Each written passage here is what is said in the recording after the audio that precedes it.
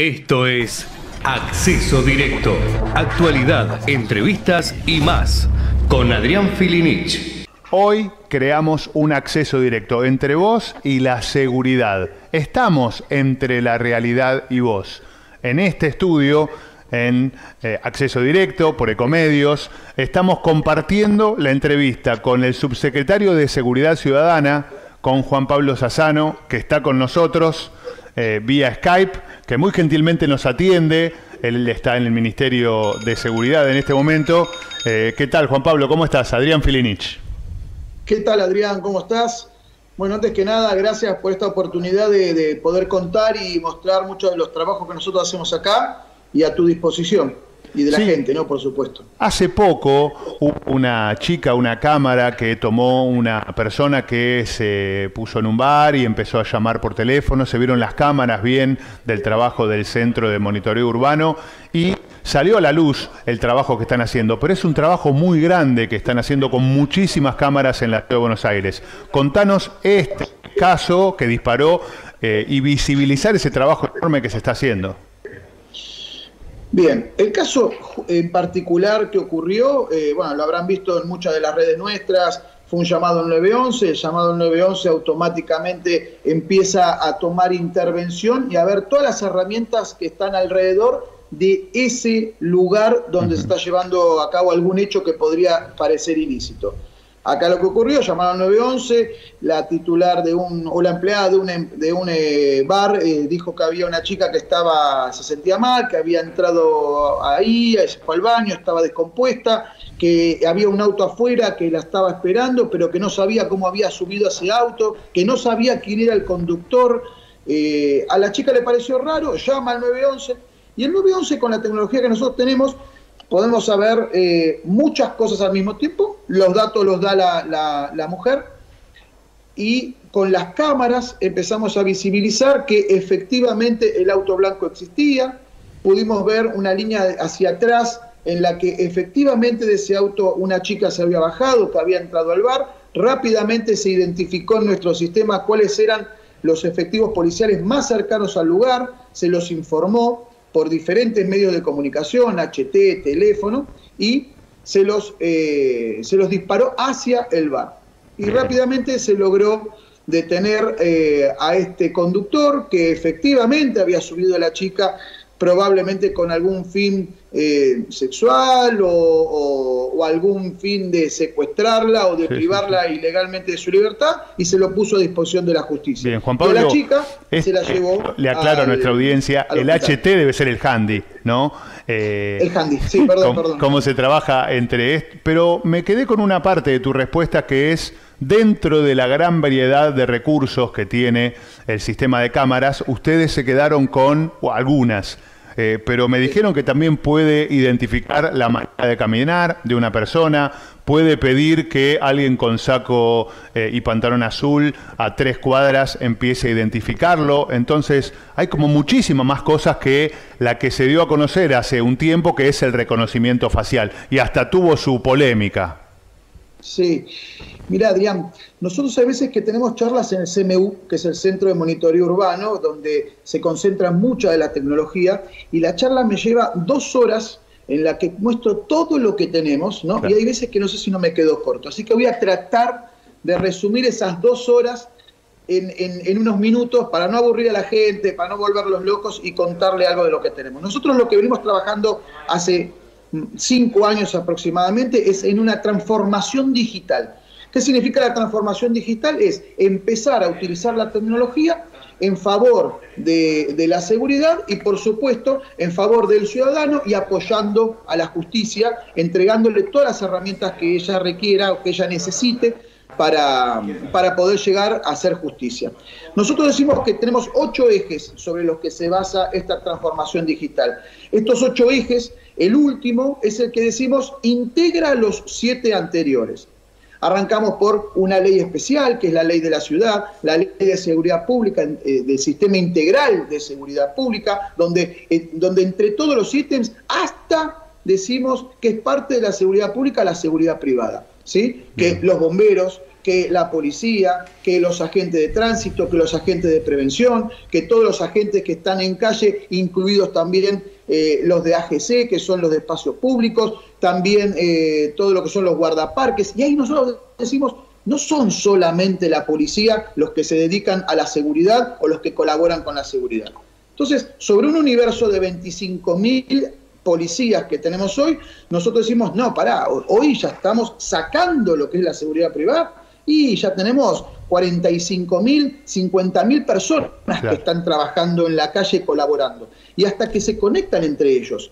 Los agentes de tránsito y los agentes de prevención tienen dentro de lo que es el centro de monitoreo eh, enlaces para que la policía pueda actuar más rápido y entonces puedan rápidamente acudir o hacer cortes o ir, eh, em, no un policía, sino acudir a un agente de prevención ante una situación determinada. Eso es lo que aprendí.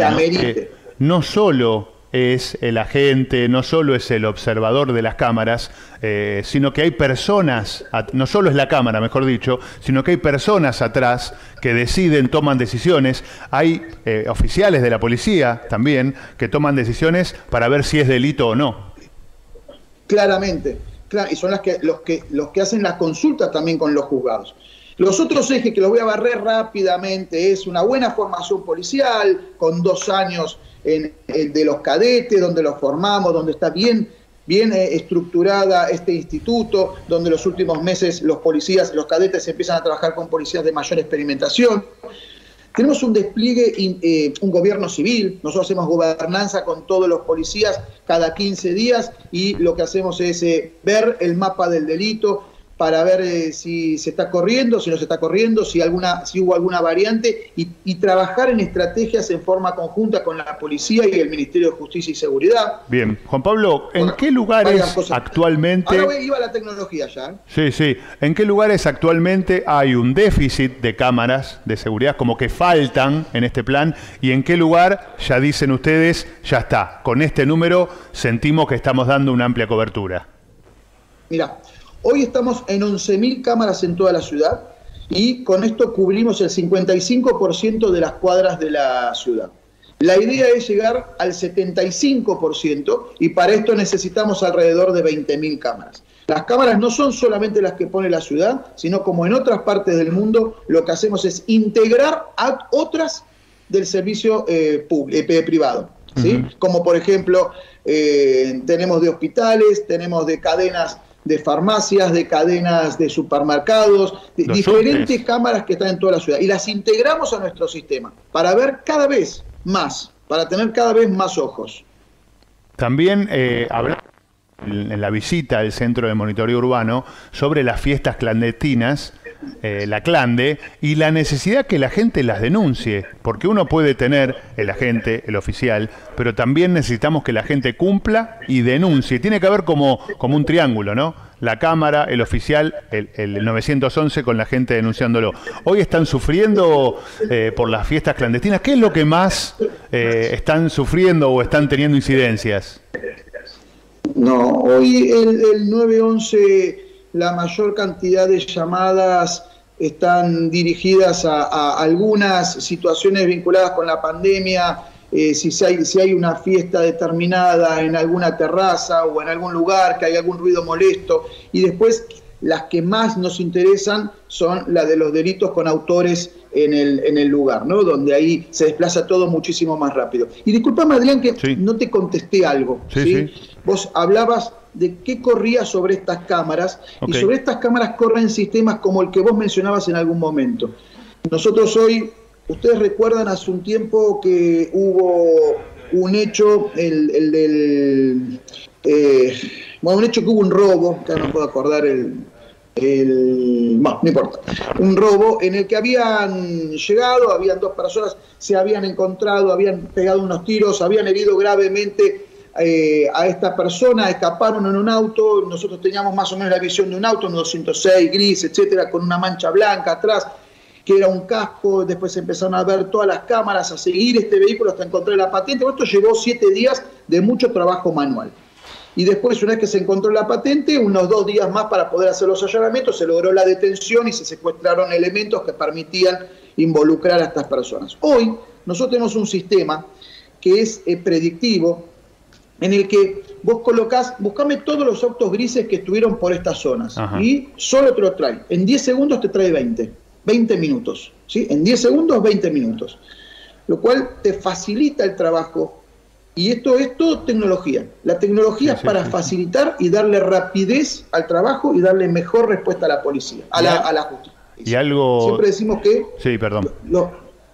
siempre decimos que los primeras, las primeras horas en una investigación penal son las más importantes. Esto hace que en las primeras horas tengamos mayor información. Y además, y la última por mi parte, esto también eh, felicita al buen policía, al que trabaja correctamente, pero también abre una alerta al que no trabaja tan correctamente, ¿no? Al, policía que quizás eh, no está del lado de la ley. Lo, lo, como que lo pone en evidencia, Juan Pablo. Mira, eh, eh, yo en algún momento te hablaba de la gobernanza. La gobernanza no solamente es cómo está el mapa del delito, sino también el cumplimiento. Muchas veces se habló de zonas liberadas, hay zonas liberadas, acá pasa esto porque hubo una zona, porque el policía no estuvo. Nosotros hoy tenemos un mapa en el que en el mapa se ve cada uno de los puntitos, dónde está cada uno de los recursos. Cada policía, cada moto, cada patrullero también tenemos las ambulancias, los agentes de tránsito, los agentes de prevención. Pero centrémonos en la policía. Entonces, cuando medimos, no solamente medimos que esté en el lugar en el que se indicó y en el que se programó, ¿sí? sino que también medimos cuántos metros caminó ese policía en ese lugar que se le asignó. Y aparte fuimos más allá y dijimos, pará, ¿y cuánto tiempo estuvo parado en todo ese recorrido, en cada uno de los lugares que nosotros le asignamos en forma conjunta con la policía a ese, a ese agente, a ese eh, policía que está en la calle. Y esto nos pone las burbujas verdes o amarillas o rojas y a partir de ahí podemos hacer una evaluación y empezar a, a trabajar en mejoras de, esta, de este patrullaje. Es como un GPS constante que tienen en la espalda como los jugadores de fútbol, ¿no? Que van diciendo cuándo corrió, cuándo, cuándo se movió, dónde está.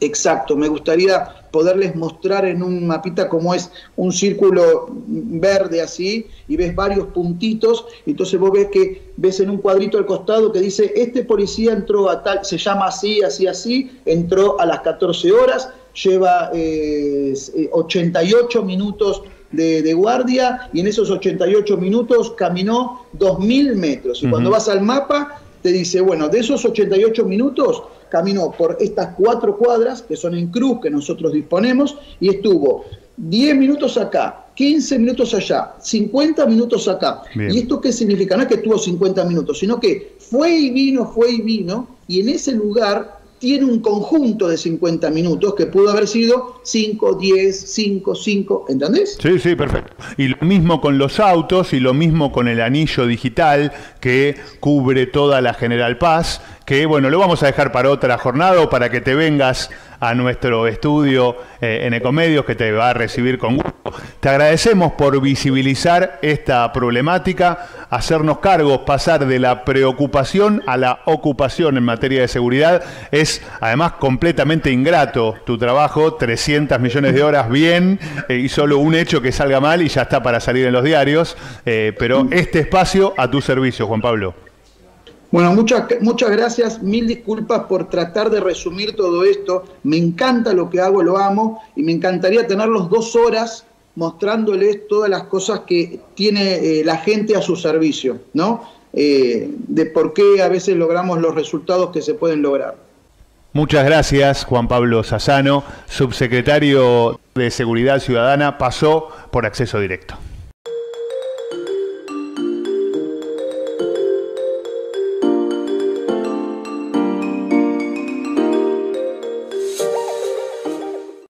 Continuamos en acceso directo entre la realidad y vos y hoy creamos dos vínculos, como dos entradas de computadora que tenemos en nuestros estudios, en Ecomedios, tenemos al doctor Marcelo Suárez, especialista en conductas saludables, y Lía Gelfi, especialista en parques industriales. Hoy, mira, ahí están todos en nuestra casa que nos recibe en Ecomedios. Eh, hoy, además, conductas saludables, yo ya empecé, empieza el invierno y yo ya empiezo con los platos calentitos, las lentejas, el chocolate caliente. Empecé 10 puntos, Doc, ¿o no? Sí, siento decirte que no es. No, empecé mal. Ya empecé mal el programa. Hola a todos, primero hola a todos. Hola, ¿cómo están? Hola, buenas Gracias por la invitación en principio. No, arran no esperaríamos el invierno. ¿Por qué vamos a esperar el invierno? Arranquemos cuando tengamos que arrancar. ¿Y cuándo es? Apenas salimos de la teta de mamá, empezamos. Ahí, ayudado por los demás. Claro. Pero una vez que empezamos a tener conciencia, empecemos a cuidarnos nosotros mismos. No por estaciones, porque si no mm. empiezo el lunes, días. Pero la, frutita del verano estaba bien y en invierno tiene que haber un chocolatito o algo más no, No, yo no digo que no. No, vamos, no vamos a hacer consulta alimentaria individual acá. Bien. Sino difusión pública. Y esto está bien. Chocolatito está bien con determinada característica. Ok. De, o sea, azúcar con chocolate no. Chocolate y un poquito de azúcar o nada. Porque ah. si no, todo el chocolate que comemos por nuestra palatabilidad es mucho más azúcar que el chocolate. O sea que el chocolate amargo, ese que es este 100% amargo, cero azúcar, es el mejor. 100% amargo no lo recomiendo porque es ah. un asco. ok, 80, 80, 70. 70 para arriba, 70, 80, 90 sería lo ideal. O sea, se pueden un montón de cosas. Lo que se puede, vos ya me conocés. Sí, sí. ¿Qué es la comida adecuada? ¿Cuál es la comida? ¿Cuál es la fórmula? Comida real, pocas veces por día, lentamente y variada. Bien, vamos a hablar de la comida real también, porque a Lía también le va a encantar. Ya estuvo hablando de sus propias dietas. Eh, el doctor está en Ciudad Humana los lunes de 15 a 17 en Ecomedios. Y Lía también está los jueves a partir de las 5 de la tarde en su programa de parques industriales. Así es, Conexión Parques. Conexión Parques. Y hablando de parques industriales, sos una gran conocedora, formaste parte eh, de parques industriales. Em, ¿Cómo cambió a raíz de este decreto de hace pocos meses los parques industriales? Exactamente, los parques industriales. Bueno, sí, efectivamente eh, se relanzó el Programa Nacional de Parques Industriales eh, en el que se reactivó todo lo que son los aportes no reembolsables, entre otras cuestiones, pero digamos desde el punto de vista de la inversión y lo económico. Y justamente ayer el ministro Culfas cerró un ciclo de capacitación para 500 gestores de parques industriales, em, anunciando que habían llegado cerca de los 2 mil millones de pesos en aportes no reembolsables destinados precisamente a todo lo que son obras intramuros, es decir, dentro del parque industrial para mejorar los parques industriales. ¿Y qué, qué, tiene de bueno estar en un parque industrial? ¿Qué tiene de beneficioso que mi empresa forme parte o esté ahí y no en otro lugar. Todo, todo, toda ventaja, ninguna desventaja. Desde el punto de vista eh, jurídico, eh, una pyme o una empresa grande cuando tiene seguridad jurídica. Entonces, cuando va a realizar su inversión, sabe que cuando su inversión la realiza dentro de un parque industrial, no le va a cambiar eh, las, autorizaciones, la legislación, digamos, va a estar respetado para qué fue eh, eh, esa, tierra destinada. Cuando vos estás dentro de un lugar residencial y querés renovar los permisos, muy probablemente ya no te los dejen renovar por cuestiones ambientales, por cuestiones de convivencia con los vecinos. Así que, bueno, ese es por un lado, seguridad jurídica. Mm, lo que es la comunidad de empresas que trabajan dentro de los parques industriales. Se generan negocios dentro de los parques industriales.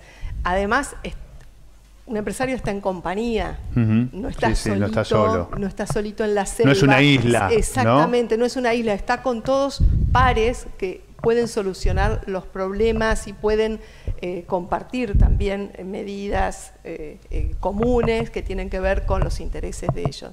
Además, bueno, el tema de seguridad. Claro. El tema de seguridad, digamos, hablamos de la jurídica, pero también hablamos de la seguridad física. Generalmente los parques industriales tienen control de, acceso, hay parques industriales abiertos. Bueno, más grande de, Latinoamérica es el Parque Industrial Pilar, que es totalmente abierto. Que fue el pero primero. Tiene cámaras, o sea, tiene un sistema de seguridad, de hecho, tiene. Cuando la conocí a Lía, eh, lo primero que le dije, ah, el Parque Industrial Pilar, el de San Nicolás. No, no, no, esto es nacional, ¿no? Como que es mucho más grande de lo que yo me imaginé. Sí, totalmente, porque hay, se estima que hay unos 600 parques industriales en la, en la Argentina pero bueno, este decreto, parte del programa nuevo, fue mm, relanzar el, o lanzar, digamos, el Censo Nacional de Parques Industriales. Bien. Ese censo hoy ha sido completado por 268 parques industriales. Wow, un montón. no sabía. Falta mucho, pero la verdad que eso va a dar y van a lanzar muchos más datos eh, y resultados, porque eso ayuda a, a determinar un poco cuál es la política de desarrollo productivo, sobre todo en el interior. Hay parques industriales en el interior que son que necesitan, algunos mucho para seguir desarrollándose y otros que realmente son maravillosos, incluso para ir pensar en relocalizar tu industria en un lugar donde vos tenés mejor calidad de vida. Claro, tal cual. Mira, habló de calidad de vida. Doc, ¿no le tiró un centro? Absolutamente. Sobre ah, todo con todo lo que dijo antes, porque vamos a, como todo es dialéctica pura, ella habló de seguridad en el organismo, inmunidad, ella habló de diálogo, de conexión con otros, no podemos sobrevivir solos, las células tampoco, y habló de no atacar el medio ambiente, así que en nuestro propio organismo eso se mantiene al pie de la letra. Bien, pero además vi que vos tenías seis conductas saludables. Bueno, justamente. La la salud es, sepamos aplicar lo útil definitivamente, así la defino yo. Con la letra formo esa oración. Es armonía física, social, espiritual y química. Todo, todo englobado. Y esto depende de nuestras células y microorganismos que nos conforman. Y ellas, que son súper inteligentes, trabajan en conjunto, súper especialmente y sin ego, cosa diferencial de los humanos. Trabajan en equipo, constantemente trabajo en equipo. Sin ego, y sin ego. Porque hay equipos de, los equipos de seres humanos siempre aparece ese, perfil egocéntrico.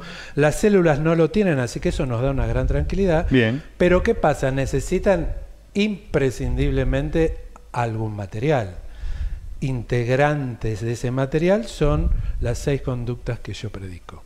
Necesitan hidratarse bien, descansar, pensar positivamente, respirar conscientemente, alimentarse y ejercitarse.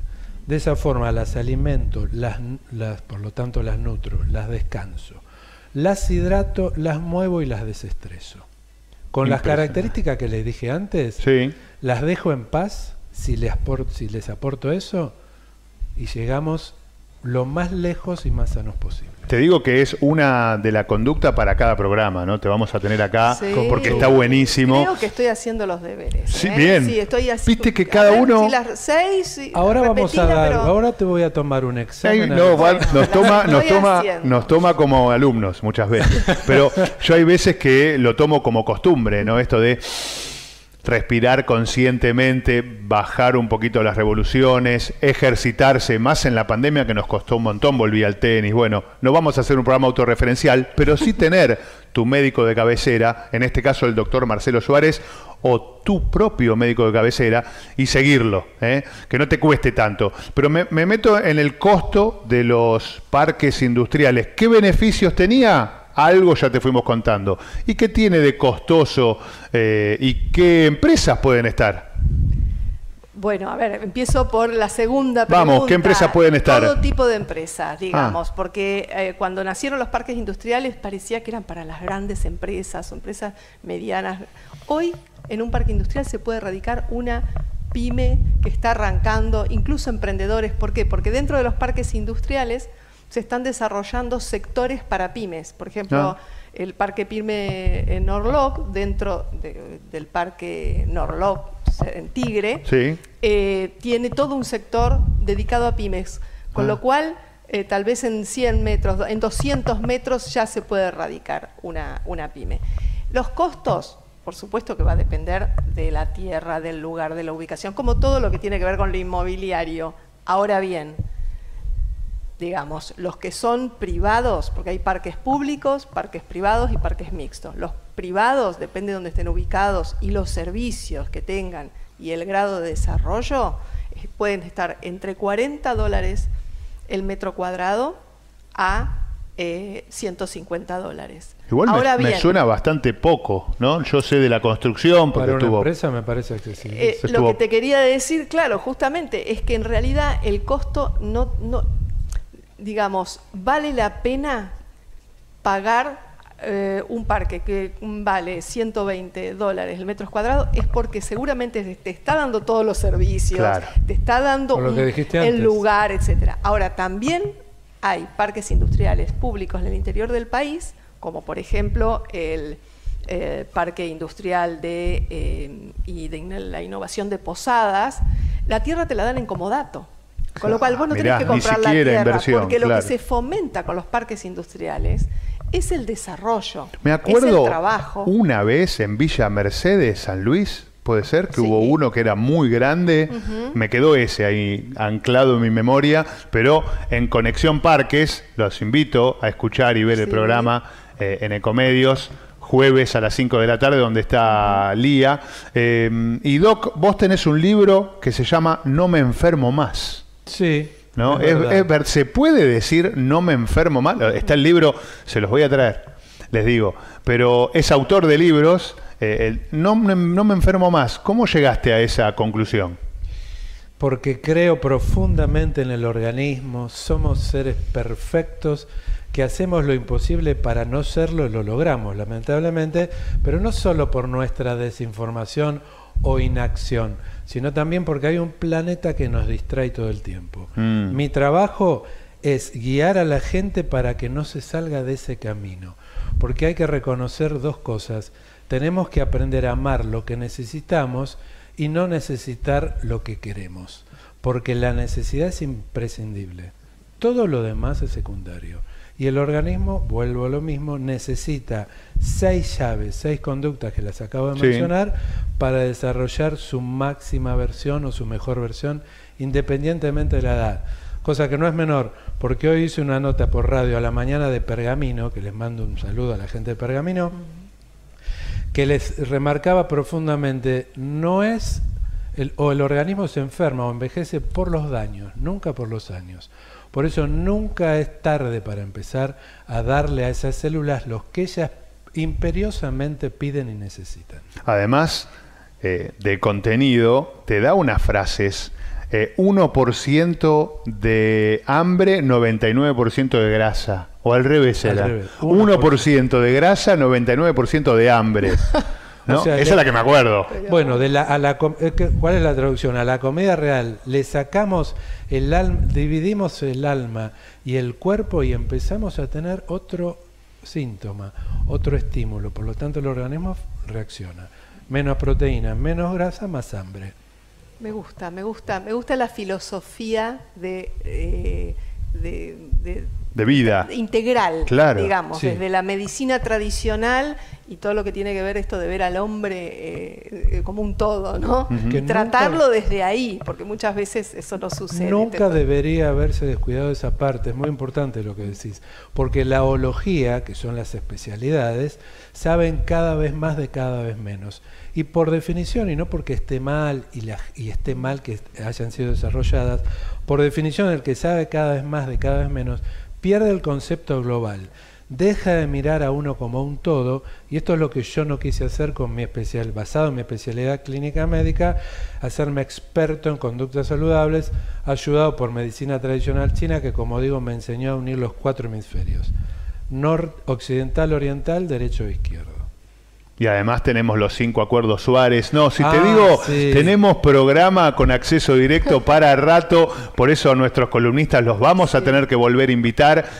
¿Quién tiene además columnista de parques industriales y de salud en el mismo programa? Nosotros, únicamente. Y salen así porque a vos... Compatibiliza. Y porque a vos te interesa, porque si, a vos te interesa, a nosotros también, eh, y eso es el objetivo de acceso directo, crear un vínculo entre lo que necesitas saber Hoy todo esto de parques industriales para mí era nuevísimo y tiene una cultura enorme y hace nueve meses empezó a cambiar con un decreto. Nos dijo Lía. Lía, muchas gracias. Por favor, gracias a vos por la invitación y estaré cuando quieras. Y también hicimos un acceso directo con nuestra salud, con tu interior, con las conductas saludables, como la venimos remando con todo en esta pandemia. Eh, próximo programa, cómo sobrevivieron a la pandemia, ¿no? Tanto los parques como la gente, con las culturas, con el cambio de vida. Doc, muchas gracias. Gracias a ustedes. Frase final. Si no tienen que ponerse, pónganse felices y con eso es suficiente. Y nos cerró el programa el doctor Marcelo Suárez. Gracias por estar en acceso directo por Ecomedios. Adrián Filinich, espero que les haya gustado. Acceso directo, ok, en Instagram, arroba Pepo Filinich, en Instagram también para que nos sigan. Esto fue Acceso Directo con Adrián Filinich.